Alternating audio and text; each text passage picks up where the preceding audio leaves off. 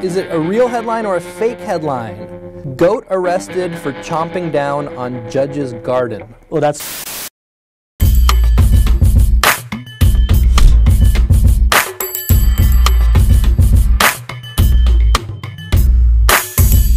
Hi, this is the CharchaCast. My name is Nick, and joining me today, Jency Jacob. We'll get to him in just a moment. He runs an organization called Boom. He's the managing editor. They're all about fake news busting. And the reason we have him on today is in honor of the UN International Day for Combating Disinformation, more commonly known as Fake News Day. Hashtag Fake News Day, you can follow that online. So we'll talk a little bit today about fake news. What is it? Who's putting it out? Why are they putting it out? Uh, and what you can do to educate yourself and get a little bit smarter on the fake news business. So, Jency, first of all, uh, thanks so much for joining us today. Nick. It's a pleasure being here. Cool. Let's get right into it. Uh, we're talking fake news, uh, disinformation. What exactly are we talking about when we say these words? Okay, so uh, all the fact checkers around the world do have this consensus that you don't use the word fake news because in many ways they feel that politicians around the world have lionized that term to actually go after mainstream media, which is why they say that it's always better to use uh, misinformation and disinformation. Uh, to just give a textbook meaning of both these terms, misinformation is where you uh, you are misinforming people, but you don't really uh, you didn't really have an intention to do that. Uh, and you may have just received something on your phone and uh, on social media, and you decided to share it since you didn't know better.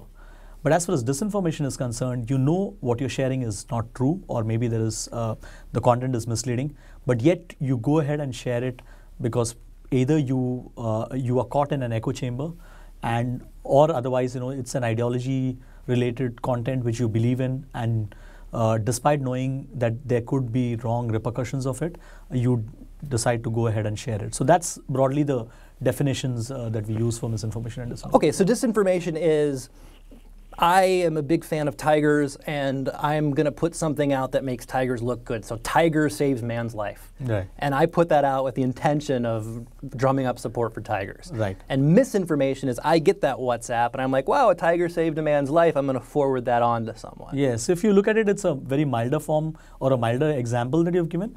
But in real life situations where political uh, discussions happen, uh, this could actually take the shape of really dangerous narratives as far as disinformation is concerned. I've always been curious who is actually sitting there in their room or in an office thinking, plotting up these conspiracies that I'm going to put out this crazy story in order to further my agenda. Like, who, who is that person sitting there on their phone on WhatsApp? Well, uh, as far as political parties are concerned, they definitely have uh, very active cells uh, that are involved in this.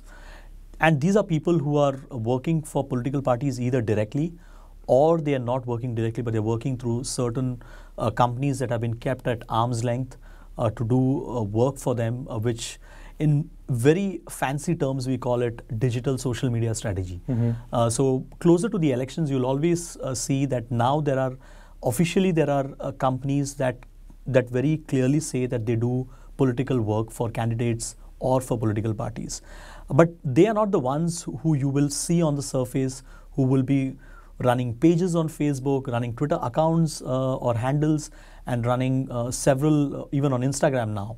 Uh, they won't be doing this actively, but there will be several other layers of companies where they've hired, uh, you know, youngsters in India. There are enough people in India who don't have jobs. So you give them a political uh, commitment and you tell them that you know they're doing this for the cause of the nation, or that they need to see a certain political party in power, or they need to see a certain political party going out of power. And whether it's the national election or the state elections, uh, they will be pushing out a lot of these uh, content on social media. Okay, and how about beyond sort of politics? Right. Um, let's leave that aside for just a moment. Yeah. Is, is there disinformation being pushed out on broader social issues or people just trying to cause trouble, right? Yes. Uh, well, so now that's going to be a bit nuanced. I may be on Facebook, and uh, I mean, if I'm not a journalist and if I'm not extremely closely connected to this entire ecosystem of misinformation and or what we call fake news broadly, but otherwise, I might be having a nine to five regular job somewhere, and I might be extremely charged up about some issue which is there out, uh, you know, um, uh, in in discussion and I may feel very strongly about it, uh, I, I, can go and create a page on Facebook. and uh, before I know, I may actually manage to get a huge following, and people may really like the kind of opinion I'm uh, giving out on on social media. And what happens? I've seen this on social media. If you are not very well known, and if you're not a celebrity or you're not a journalist who's very well known, uh, but if you have a very edgy view on issues, uh, there are people who will like uh, what you write.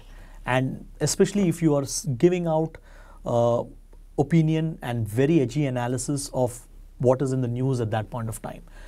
And this, I guess, ties in with broadly the, the disconnect that people have with mainstream media.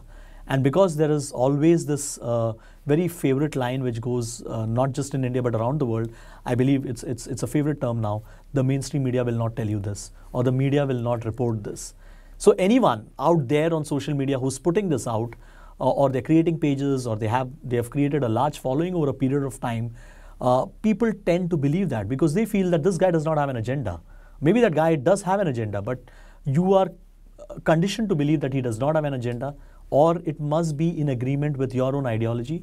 Uh, and not just political. I'm talking about anything else, right? It may be about a about a pharma drug, or if it may be about some line of treatment, uh, and or maybe against hospitals or against what you see right now in terms of uh, uh, food products or a diet or, or some latest diet uh, you know that everyone is talking about and practicing the issues can be you know multiple and you know you can decide what you want to pick up. So do you think though that this echo chamber phenomenon is real? I just read something in the last week or so that suggested maybe it wasn't that it was that the whole idea that there's an echo chamber that I have a certain ideology and the entire online universe is designed to sort of trap me into that world yeah. of that ideology. That that may not actually be the case. What's your view? Uh, I, I am not sure maybe I might need to re read this research you know on what's the basis why they're saying this but if you observe that most politic uh, most uh, platforms social media platforms uh, work on the premise that once they find that you are sharing a certain kind of content, they give you more and more of that. Sure. For example, if on YouTube you go and search for a particular topic, you'll see that the YouTube recommendations will always be regarding that. You know, there's a joke in our newsroom that if anyone comes and searches our, you know, history on the computers that we work on, they'll find that there will be either a lot of political, uh, a lot of violent uh, videos, huh. or they'll find there will be a lot of videos that that are uh, you know uh, semi-porn in nature.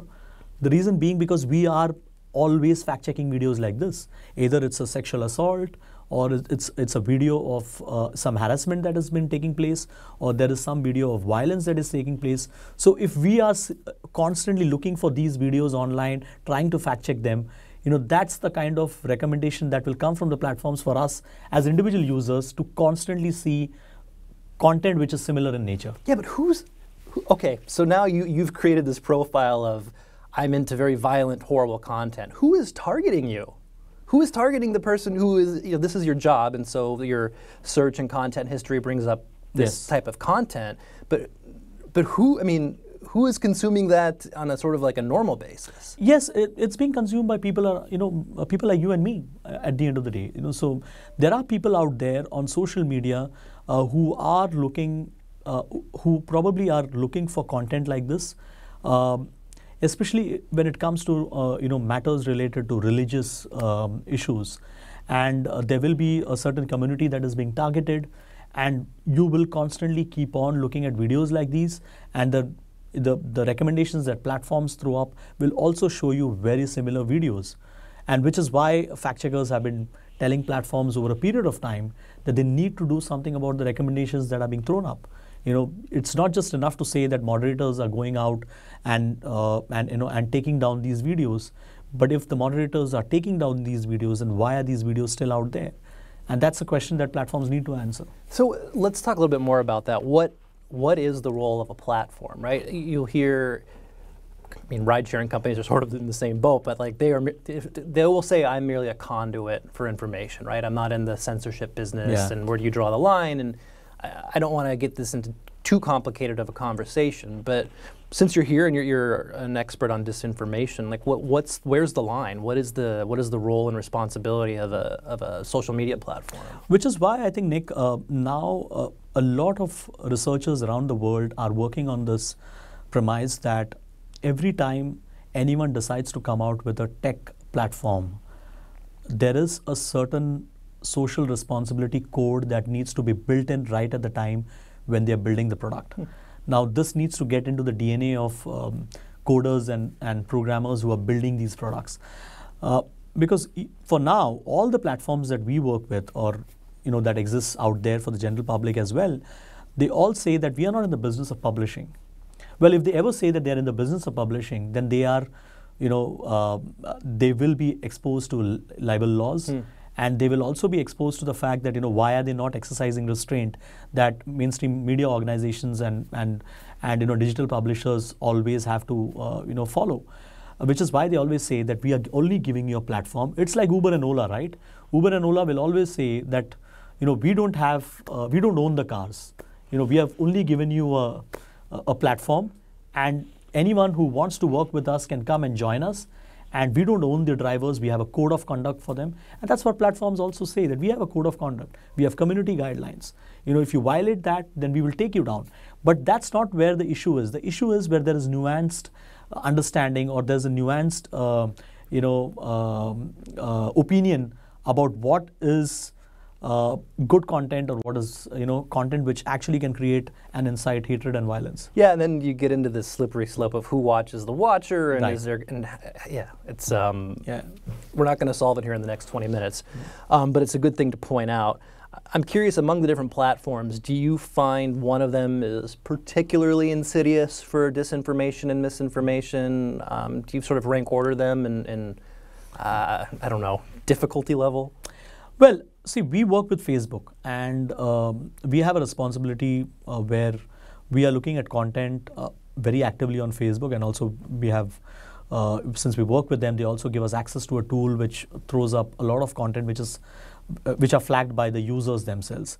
And it's our responsibility to write full stories and use all journalistic methods to find out whether those posts are true or not, and then tag them to the uh, to those uh, to those posts. Uh, so yes, we do have a responsibility as far as uh, when we work on Facebook as a platform.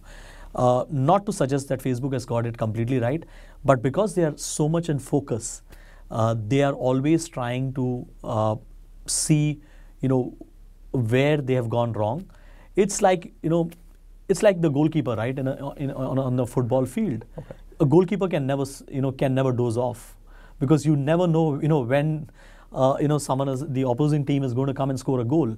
Uh, they are going to score a goal every time, you know, and you have to ensure that you are always gatekeeping which is why the job of the platforms is so difficult. So Facebook, yes, there have been historical reasons why people have a lot of issues around with the platform. Uh, we are always in discussions with them, and they are trying to see what they can do. But Facebook, still, you can decide that you know I'm going to only add so many friends and I'm not going to actually, uh, you know, be in touch with anyone else, and I might go once or twice a day on Facebook. And you can and you can silence when your yes. crazy uncle is spouting off on something. You, you can, can, you can definitely choose to block know. them. You can choose right. to do whatever you want, or you can you can join communities and groups where you only want to you know sample a certain kind of content. I feel the bigger problem is Twitter. Hmm. Because Twitter is a medium where uh, there is absolutely no filter. Now, yes, you can filter it, you can choose to blue, block certain people, uh, but Twitter is a medium where there is rampant abuse happening, you know, and you just go and tweet something which is politically not palatable to a large number of people who are occupying that platform, and you see the kind of trolling that happens, which is why a lot of people are choosing to go off the platform because they cannot handle the kind of abuse that is being di- directed against them. Uh, so I feel Twitter is a bigger problem in my own individual usage. You know, uh, forget for a moment, you know, that I'm a journalist and mm-hmm. I'm a mm-hmm. fact checker.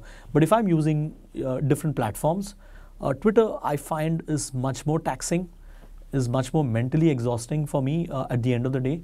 Uh, but at the but you know, we still choose to be on the platform because we feel that we want to engage with certain community of people or our work decides you know where which platforms we have to be on sure um, so in india is there a is there a way that misinformation takes shape that's unique to India, or is there a platform that's more used here than in other countries? What sort of what's the the Indian uh, spin on disinformation? Oh yeah, so WhatsApp, right? WhatsApp, I mean, that's okay. that's the elephant in the room, and WhatsApp is uh, it's it's very interesting to see the progression of WhatsApp.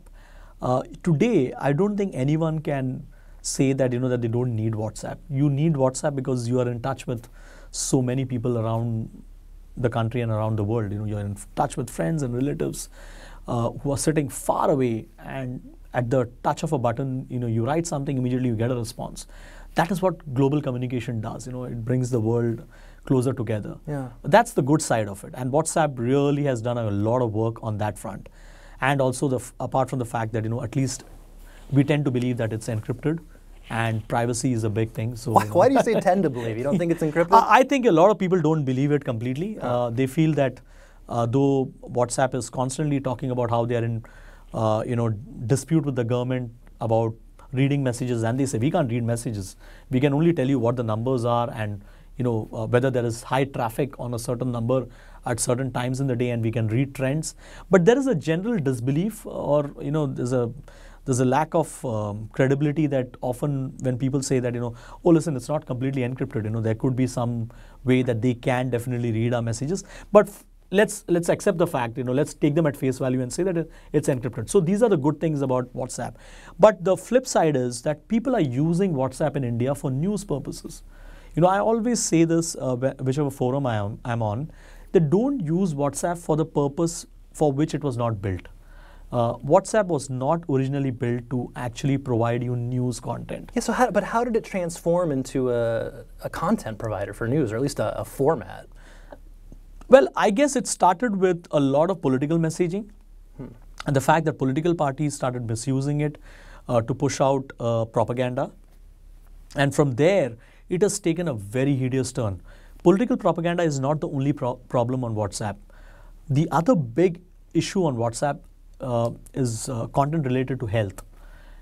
You know, you Oh, may receive something which might say that a certain medicine is not good for you and you may die. What is it? Nick, you know, we are all people who are very connected and emotionally uh, connected to people whom we love, you know, our friends, our relatives. If I receive some message on my, on my phone and I look at it, even wearing the fact checker's hat, for a moment, you know, I am like wondering whether this is true or not. You know, and I might, I may end up sending it to a close group of friends and relatives, saying, you know, I don't know whether this is true or not, but I think we need to examine this. Now, just imagine for people who probably are caught in their mundane lives and you know, and they don't really have the time to go and fact check something, they will just forward it. And I found many people whom I speak to and I ask them, why do you forward this? And they'll say, but I have just forwarded it to five people because anyways, WhatsApp prevents me from sending it to five people at a time. I don't have time to send it like 10 times. But they don't realize you send it to five people, those five people send it to another five people, and that's how this kind of stuff goes viral. It's almost more insidious then, right? Because it's not this idea of I've got these multiple groups of 200 people that are set up to discuss these things. It's I'm sending it to my mom, I'm sending Yeah. it to my cousin, and they're sending it to their friends, then to their coworkers, times 1.3 billion, right? Right. Um, so w- within WhatsApp, though, if I get a WhatsApp message that says, you know, I don't know, stop drinking water because Right. water is terrible for your health, Yeah. there's going to be a certain number of people who believe that. Right. Why? Well, uh, I guess it's also because uh, it it goes back to the trust factor. Uh, if media had not lost its credibility the way it has over the last many years, and I think that's not an India only phenomenon. It's a phenomenon that we are seeing in the US as well, and it's a phenomenon when I speak to journalists and fact checkers around the world at conferences, they all say the same thing that there is a credibility crisis. How did media lose credibility? Right? Like media, the fourth estate. Like media is supposed to be Yeah. the Walter Cronkite and you know this this voice of authority. And if, if it's written in the New York Times, like by God, that's gospel. Like what Right. happened? Well, that's a very complex topic. You know, I don't know whether I'll be able maybe able we to can save it for- yeah, for we can, another we can do that at some point. You know, but yes, it's a it's a larger issue of uh, whether uh, I've asked people that when you receive for for this for ex- this example that you gave me, that if someone sends me a message saying that you know don't drink water because it's harmful for you, I should know where I can go and search whether it is true or not. And for for me to do that, either I should be inclined to actually come out of that WhatsApp ecosystem and search it on Google or look for some credible news article, or I should believe that all those newspapers and digital outfits that I uh, that I look for information uh, they will provide me information which is credible in nature. Yeah, but this is another problem, right? So, okay, water's bad for you. Yeah. What? I'm going to go onto Google. And I'm going to do my search term is going to be, is water bad for you? Yeah. And I will bet you within the first three or four results, there's going to be yeah, yeah. water's bad for you. Be like, Yes. oh, it's right. Yes. Um, so it's like, it, it's this whole mess of trust. And let, let's talk about trust for a moment. I opened the show today saying it was the UN Day for Combating Disinformation, Fake News Day. Right. I made that up. Yeah. There's no such thing. Yes. Um, and I was wondering, where, which is that date? And I was curious, right? See, but you were thinking, right? Yeah. But here I am. I am presumably have some sort of credibility, maybe not anymore, Yeah. uh, but I did, and I said, "Hey, it's this UN day, blah blah blah," and I, you take that at face value. So how do I know what to trust, what not to trust? When should my little like sixth sense go off and try to maybe do a little bit digger deeping? Like, what, what are the clues to, to educate myself and be a good news consumer? Well, I, I guess uh, there's a lot of work that needs to be done in that. First of all, you need to end up uh, training yourself uh, digitally in terms of digital literacy uh, to ensure that you are reading material which is actually providing you enough food for thought. Like if you are inclined to be reading only stuff which is politically and ideologically inclined towards one side of the divide, then over a period of time you fall in the danger of um, you know of not being able to discern what is right or wrong. Yeah. And and which is why I always uh, you know uh, we all, always say this that even as uh, fact checkers, it's very important for me to read all sides of the uh, you know of the information. Yeah, but you can't. You, you know, there's no time for every Well, single that's, thing I that's- read, yes, right? so that that's that's another issue. But uh, I would always say that you know that we don't use WhatsApp for news. Uh, whenever you receive something, go and search out whether there is any. See, you have to trust at least two newspapers or two new, news channels who you have tested over a period of time. Okay. And maybe probably journalists who you who you have tested over a period of time. If you are in this business of saying I don't trust anyone in this world, then you know best of luck. You know, Well, you, and there can, you can continue to live in that bubble that you are in. Yeah. And there's something to be said for as much flack as sort of the mainstream media has taken. If you're going to get your news from somewhere, get it from somewhere where people are held accountable. yes. Right? Yeah. Um, there's a thing called a retraction. Like if, Yeah. if the organization you're following doesn't print retractions Yeah. or never apologizes for a story or doesn't fire a reporter for misreporting, like that's a problem. Right. Um, all right, speaking of fake news, we came up with a list of headlines. Oh, it's the wrong one. It's in here. We came up with a list of headlines somewhere. Some of these are fake and some of these are real. And since we have the fake news expert with us today, we're going to test your knowledge to see if you can figure out which of these are fake and which of these are real news. And I wish we had a good name for this segment, um, but it's the first time we've done it, so we'll come up with something later. Uh, okay, is it a real headline or a fake headline? 20 lakh worth of wigs stolen from a Mumbai salon. Uh, I haven't come across this, but this can this can actually test your ability to figure out whether it is right or not. But I would think that it's it, that it, it, it, it looks like it looks to be a f- false headline. It is a fake. Wow, well Yeah. done. I what? But it- but this one- this one you This can be feels like it could be real. yeah, though, this right? this feels it can be real, right? What, so what? What turn? What sort of? What was triggering in your So, head when you hear so this? it, uh, what triggered in my head is 20,000 wigs. I mean, isn't that a high number? Ah, yeah, right? Okay, cool. Um, suspected tiger caught on video turns out to be a cat named Coco.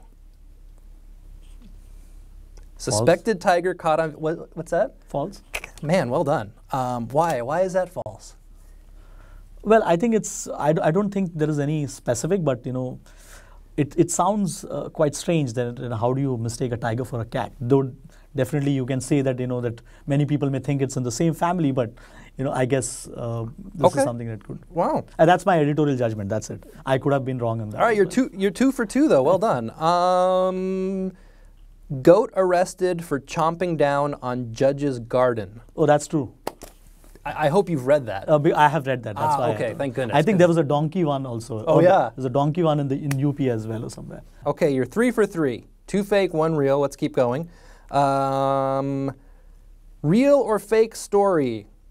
New virtual reality headsets help people go to the office while sitting at home. New virtual reality headsets help people go to the office while sitting at home. That could be true. We got him on one. Outstanding. That is Okay. a fake story Okay. invented by producer Priyanka or producer Milburn. I'm not sure which one came up with that. but Um, that can was- happen, right? I mean, it, I'm sure that at some time in future. Sure. Yeah.